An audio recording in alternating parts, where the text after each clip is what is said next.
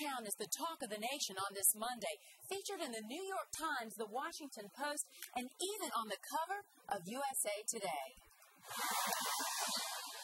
It's unlike anything the quiet town of Davidson has seen in decades, not since the days of Lefty Driesell in the late 60s, as hoops mania hit the campus of the prestigious small liberal arts college quite like this. We're really, really excited, and it's history, and it's good for the town, it's good for the area, it's, it's really good for the students.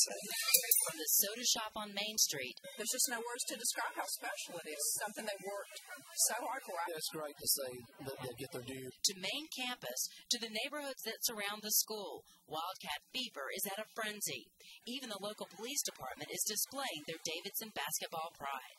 We had people throwing their arms up in the air and and uh, go Davidson.